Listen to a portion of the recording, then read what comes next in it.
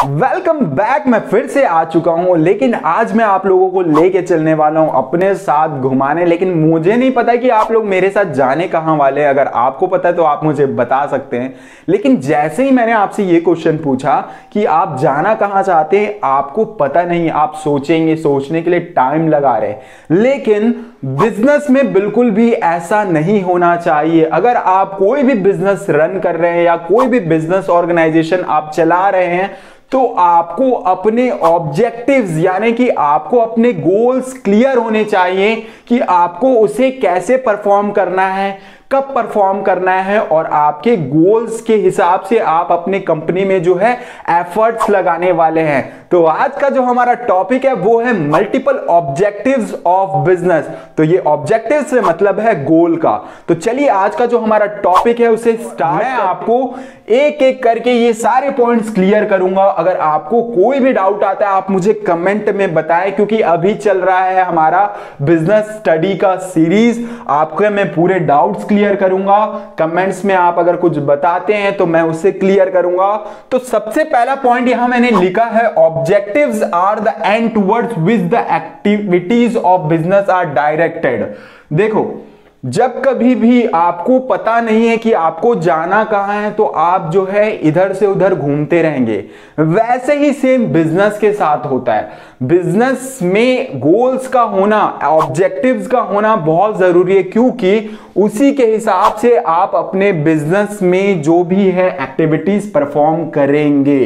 These are the goals establish to guide the efforts of the company आपने goal set किया है और उस गोल के अकॉर्डिंग आप अपने एक्टिविटीज़ को परफॉर्म करेंगे और एफर्ट्स को उसके अकॉर्डिंगली लगाएँगे। आपको पता है कि आपको एक ओवर में 14 रन्स बनाने हैं तो आप उसके हिसाब से फ़र्स्ट बॉल से जो है बैटिंग करेंगे।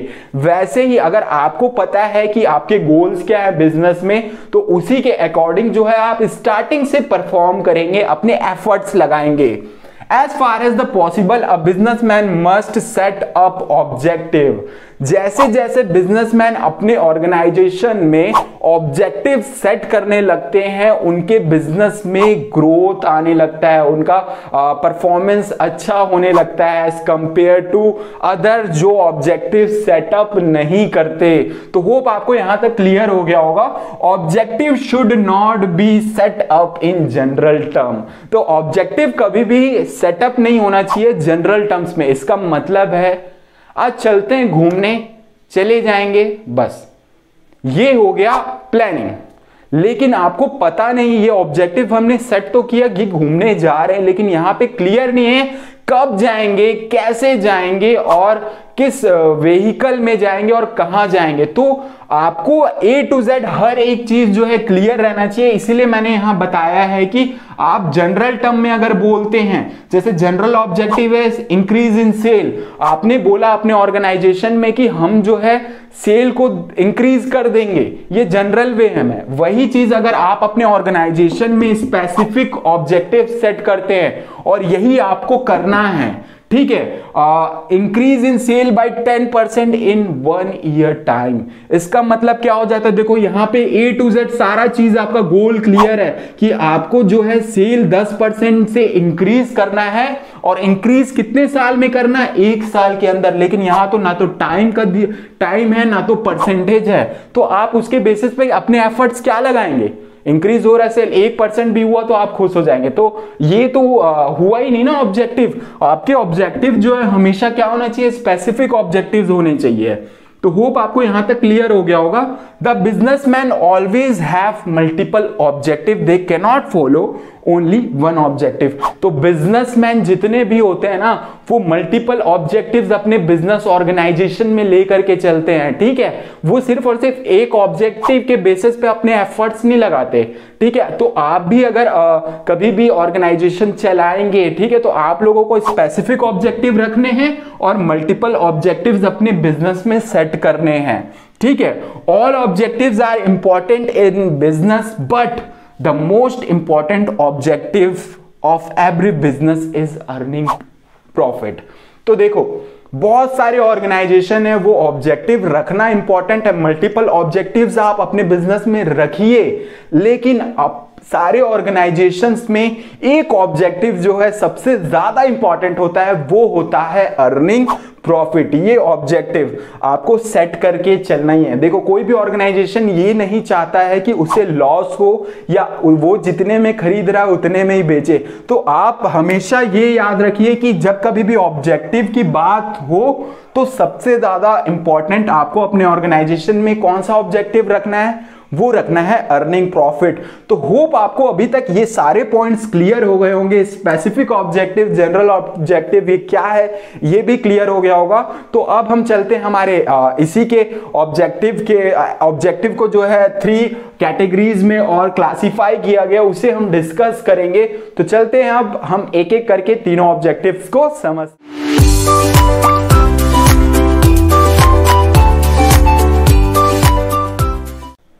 बिज़नेस के ऑब्जेक्टिव्स को मेनली थ्री कैटेगरीज में क्लासिफाई किया गया। उसमें से सबसे पहला आपका है इकोनॉमिक ऑब्जेक्टिव्स उसके बाद सोशल ऑब्जेक्टिव्स और ह्यूमन जिसे हम इंडिविजुअल ऑब्जेक्टिव्स भी कहते हैं। तो एक एक करके हर एक ऑब्जेक्टिव्स को हम डिटेल में डिस्कस करेंगे, जिससे कि आपको केस स्टडी सॉल्व करने में हेल्प हो। तो चलिए देखते हैं इकोनॉमिक ऑफ़ बिज़नेस में अब जो हम डिस्कस करेंगे वो है इकोनॉमिक ऑब्जेक्टिव और इकोनॉमिक ऑब्जेक्टिव तो होगा क्योंकि बिज़नेस की बात कर रहे हैं और जब कभी भी बिज़नेस की बात करेंगे तो बिज़नेस होता है इकोनॉमिक एक्टिविटी और तभी तो ये इकोनॉमिक ऑब्जेक्टिव भी तो कहलाता है। तो कोई भी ऑर्गेनाइजेशन इकोनॉमिक ऑब्जेक्टिव को फॉलो करता है जीपीएस से। तो जीपीएस से यहाँ मतलब है G for growth P for profit और एस फॉर सर्वाइवल यानी कि आप आपको अगर ऑर्गेनाइजेशन में इकोनॉमिक ऑब्जेक्टिव फॉलो करने हैं तो आप जीपीएस फॉलो करेंगे।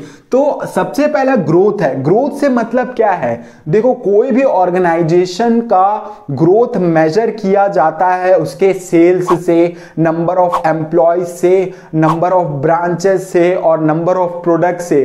तो वो ग्रोथ रेट वो अपने ऑर्गेनाइजेशन को कैसे एक्सपेंड कर रहे हैं वो कैसे पता चलेगा? तो आ, देखते हैं यहाँ पे क्या लिखा हुआ है।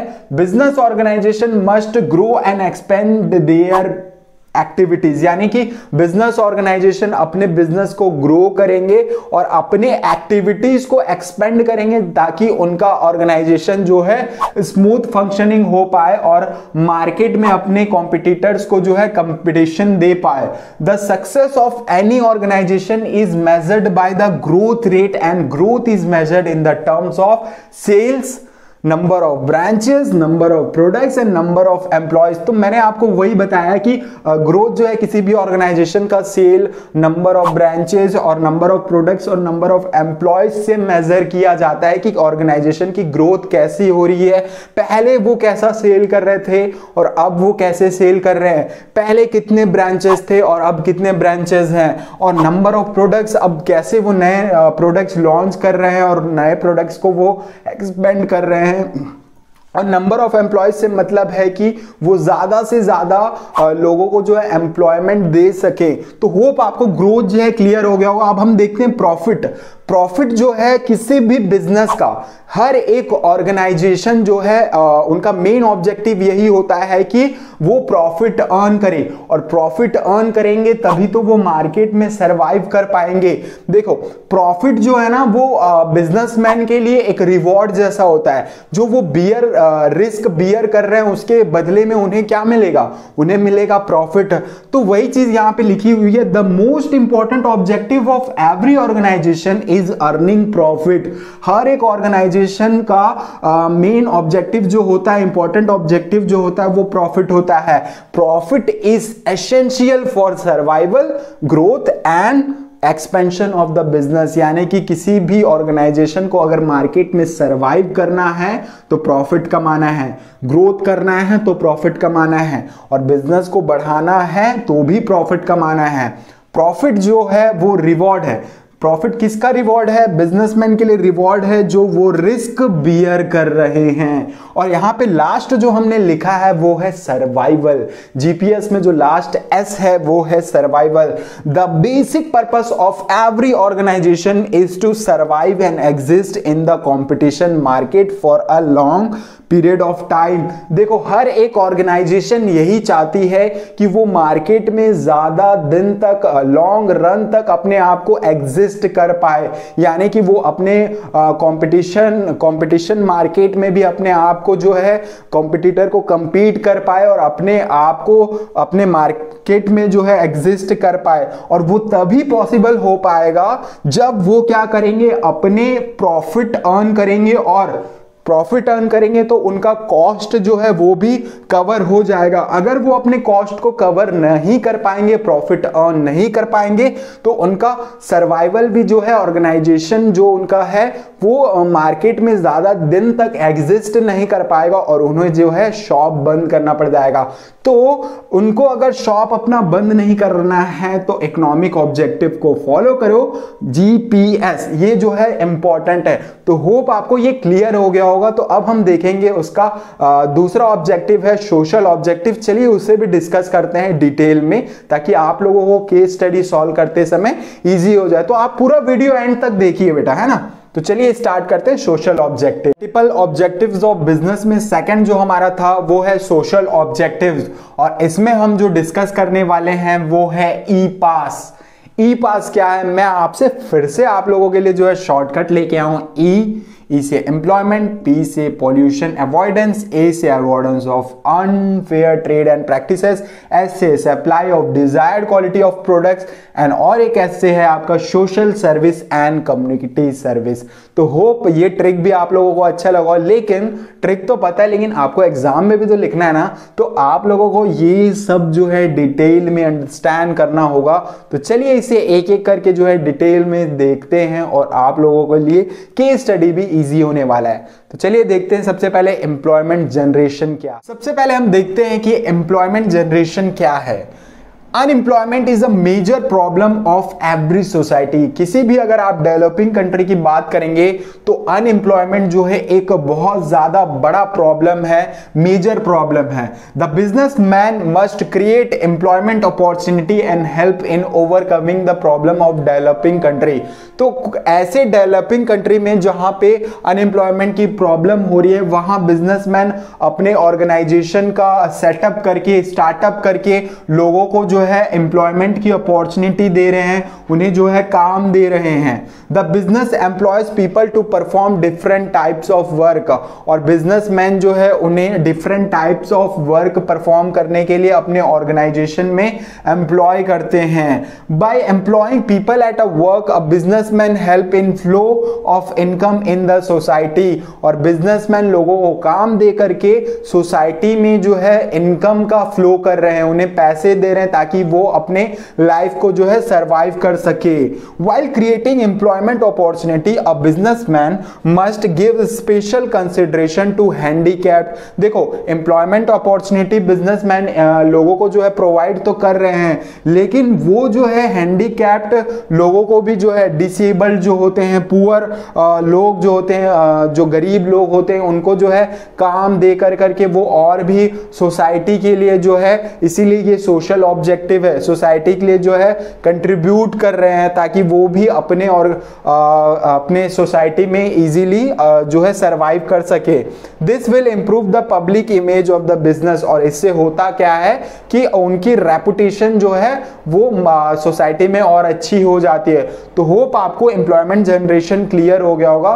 तो अब हम देख ट्रिक में जो पी स्टैंड करता है, वो स्टैंड करता है पोल्यूशन अवॉइडेंस के लिए। देखो, बहुत सारे इंडस्ट्रीज़ हमारे एनवायरमेंट में आ चुके हैं। जैसे जैसे इंडस्ट्रियलाइजेशन होते जा रहा है पोल्यूशन भी वैसे ही इंक्रीज होते जा रहा है। और आज के डेट में इंडस्ट्रीज़ जो है मेजर प्रॉब्लम बन रहे हैं। किसका? पोल्यूशन का। Industry has let the major problem of pollution तो इंडस्ट्री जो है वो मेजर प्रॉब्लम बन चुके हैं किसके?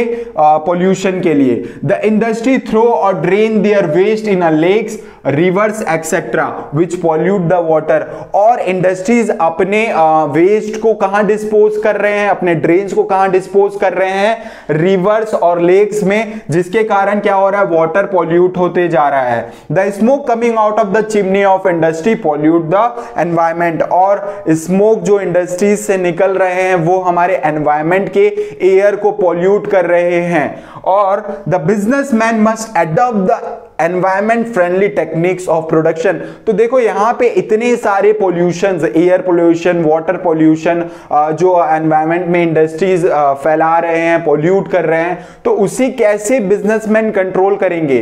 अब देखो इंडस्ट्रीज़ का चलना भी इंपॉर्टेंट है। तो बिजनेसमैन लोगों को एनवायरमेंट फ्रेंडली टेक्निक्स यूज़ करना चाहिए प्रोडक्शन के लिए, जिससे कि ड्रेन और वेस्ट मटेरियल जो है सच अवे आराम से एनवायरमेंट में डिस्पोज हो जाए बिना किसी पॉल्यूशन के।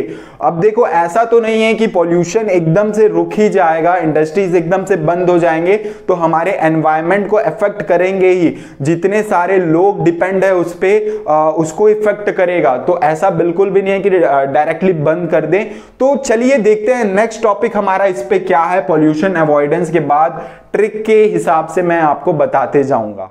तो ट्रिक ई पास में ए जो है, वो स्टैंड करता है avoidance of unfair trade and practices इससे मतलब है कि बिजनेसमैन ज़्यादा प्रॉफिट कमाने के चक्कर में अपने प्रोडक्ट्स में मिलावट स्टार्ट कर देते हैं प्राइस ज़्यादा चार्ज करना स्टार्ट कर देते हैं और क्या करते हैं काला बाजारी स्टार्ट कर देते हो। ऐसे नहीं करना है क्योंकि वो सोशल ऑब्जेक्टिव्स को अवॉइड कर रहे हैं। और इससे क्या होगा, अगर कभी भी पब्लिक को पता चलता है इस चीज़ के बारे में तो सिर्फ़ और सिर्फ़ उस बिजनेसमैन का रेपुटेशन नहीं जाएगा, साथ ही साथ उन्हें पनिशमेंट भी दिया जाएगा लॉ उन्हें पनिश करेगा।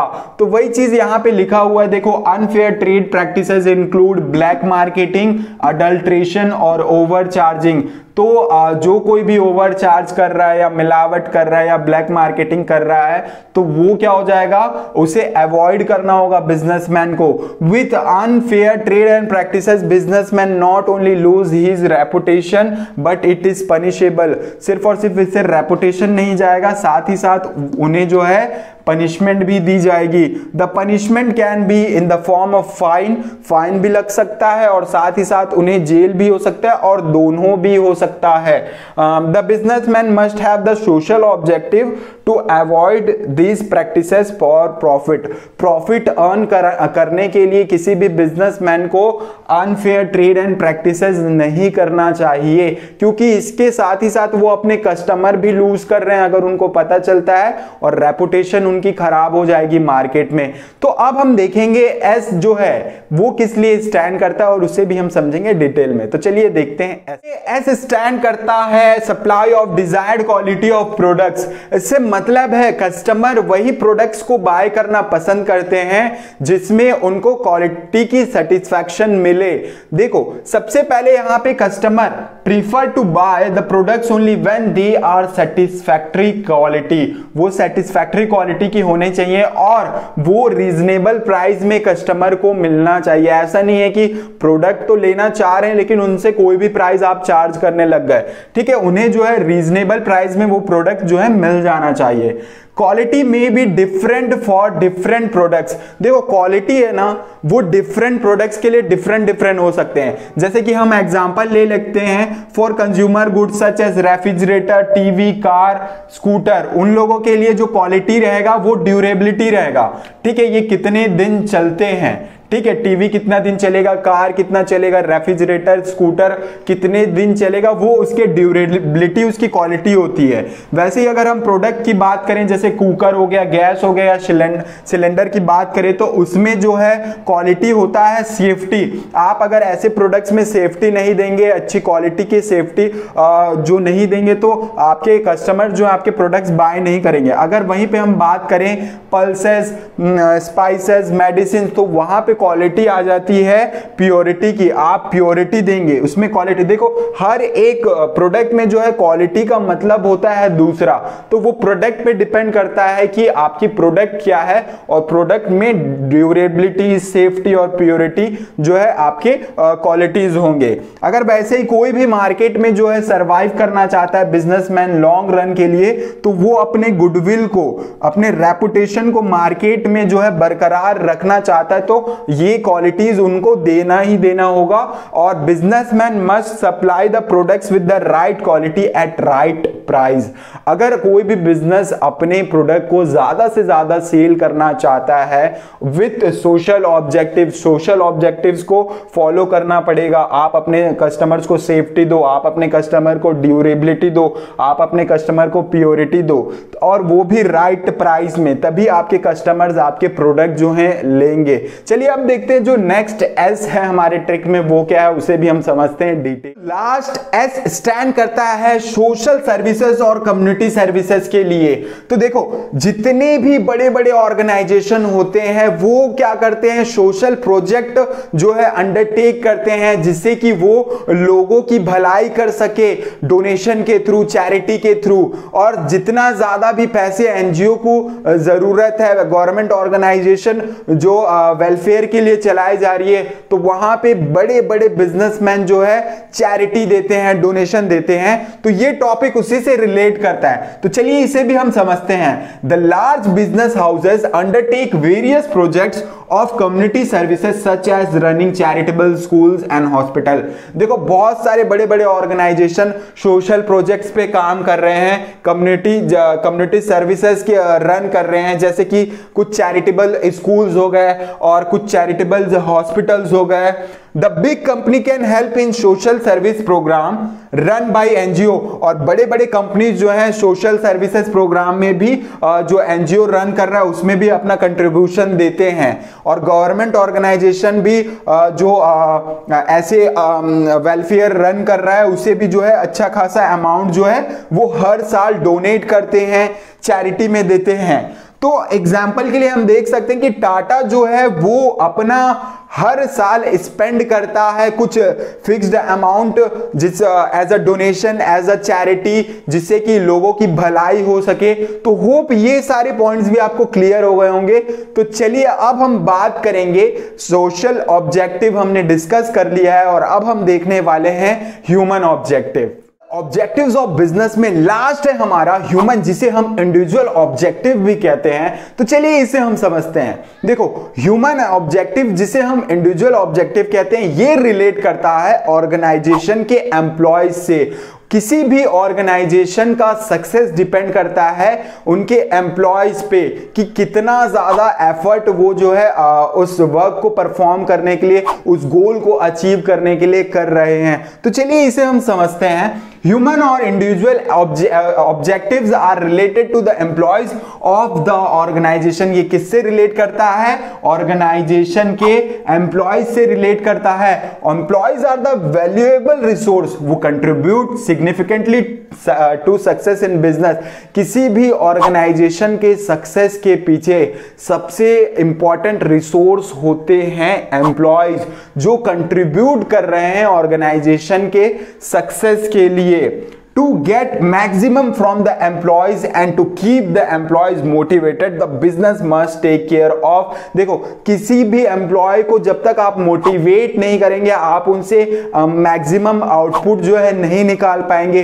कोई भी एम्प्लॉय uh, जो है अच्छे से काम नहीं कर पाएगा तो आप उनको टाइम टू टाइम मोटिवेट करते रहिए। ठीक है? तो ये पॉइंट्स को ध्यान में रखते हुए जो है कोई भी ऑर्गेनाइजेशन परफॉर्म करता है। प्रोवाइडिंग गुड वर्किंग कंडीशन आप अपने एम्प्लॉयज़ को जो है गुड वर्किंग कंडीशंस दीजिए जहाँ पे वो एम्प्लॉयज़ कंफर्टेबली आपके ऑर्गेनाइजेशन में जो है वर्क कर पाए। ठीक है? Payment of a competitive and satisfactory wages and salary देखो मार्केट में कंपटीशन इतना ज़्यादा है, आपके ऑर्गेनाइजेशन के कॉम्पिटिटर जो है, उन एज कंपेयर टू उनके एम्प्लॉयज़ के सैलरी से, आपके एम्प्लॉयज़ की सैलरी को आप देखते हुए जो है सैलरीज एम्प्लॉयज़ को देंगे और वेजेस उसी के हिसाब से जो है, आप प्रोवाइड करेंगे। तो वो क्या करता है एम्प्लॉयज़ को आपके वर्क के लिए, आपके ऑर्गेनाइजेशन के लिए जो है अट्रैक्ट करके रखेगा और लोग जो है, आपके एम्प्लॉयज़ जो है, अच्छे से काम करेंगे। Training and development for employees growth and updating their knowledge देखो ट्रेनिंग और डेवलपमेंट फैसिलिटी जो है, आप प्रोवाइड कराएँगे अपने एम्प्लॉयज़ को तो टाइम टू टाइम उनका नॉलेज जो है, क्या होते जाएगा? अपडेट होते जाएगा और एम्प्लॉयज़ के ग्रोथ के लिए ये इंपॉर्टेंट है। Providing special benefit such as housing facility medical facility and free education of children आप क्या करेंगे? अपने एम्प्लॉयज़ के लिए जो है कुछ स्पेशल बेनिफिट्स जो अदर कॉम्पिटिटर आपके नहीं करते हैं आप अगर आ, क्या कर रहे हैं? हाउसिंग फैसिलिटी अपने एम्प्लॉयज़ को प्रोवाइड करा रहे हैं मेडिकल फैसिलिटी अगर प्रोवाइड करा रहे हैं और उनकी चिल्ड्रंस के लिए आप फ्री एजुकेशन अगर प्रोवाइड करा रहे हैं तो वो एम्प्लॉयज़ अच्छे से आपके ऑर्गेनाइजेशन को आ, कभी भी आ, छोड़ने से पहले एक बार ज़रूर सोचेंगे और आपके ऑर्गेनाइजेशन के ग्रोथ के लिए हमेशा मोटिवेटेड रहेंगे और उसी के अकॉर्डिंग जो है उनके एफर्ट्स आपके ऑर्गेनाइजेशन में दिखेगा। तो होप आपको क्लियर हो गया होगा। ये सारे पॉइंट्स जो भी मैंने डिस्कस किया। Thanks for watching video till the end like करें शेयर करें और सब्सक्राइब करें।